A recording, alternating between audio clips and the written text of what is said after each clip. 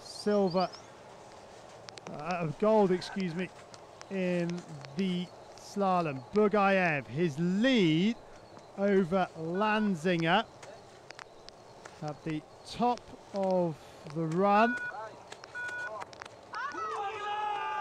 2.13 seconds and conditions getting worse all the time for the 16 year old. Now, Bugaev skis without fear, but in horrible, horrible conditions. What can he do? You'll get to see the full run of Alexey Bugaev.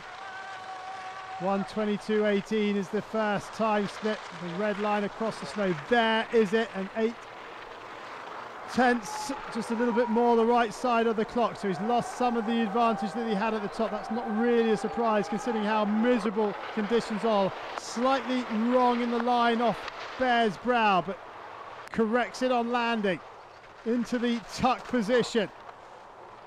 The crowd in the finish area start to ramp up the noise over the lake jump. 152.25, the next time split, and Bugaev is back up to 1.1 seconds inside. 120 through the gun. 74 and a half miles an hour for Alexey Bugaev.